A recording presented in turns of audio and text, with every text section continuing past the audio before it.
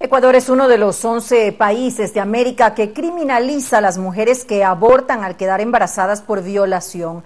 En el caso de las niñas, 3.000 quedan en estado de gestación cada año. La mayoría son forzadas a ser madres y las demás buscan abortar, aunque en condiciones precarias, y se enfrentan a la muerte o a ser judicializadas.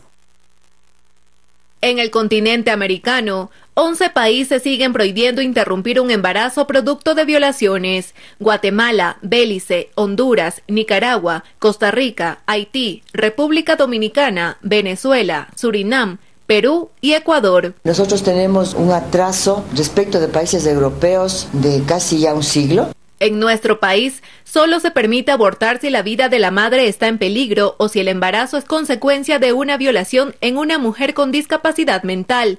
Esto último, según la Fundación Desafío, solo sucede en menos del 1% de los casos, por lo que prácticamente el 99% siguen desprotegidas y si llegan a abortar, de acuerdo al artículo 149 del Código Integral Penal, son sancionadas con pena privativa de libertad de seis meses a dos años.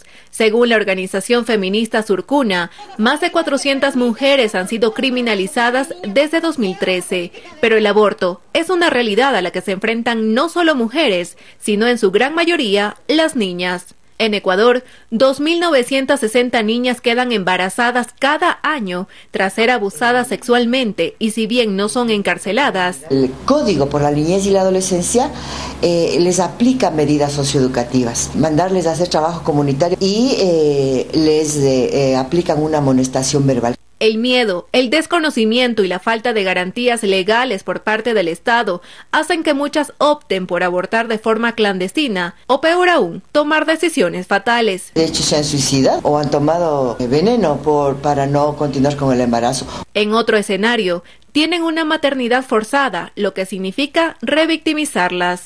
Poner sobre ellas un peso tan grande que sería no solamente la noticia de un embarazo, sino la gestación, nueve meses de su violador, para luego forzarle a maternar, es inhumano. Consecuencia de aquello, las secuelas son para toda la vida.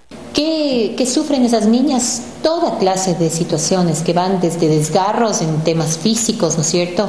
Desde la imposibilidad psíquica de, estar preparadas para criar a un niño.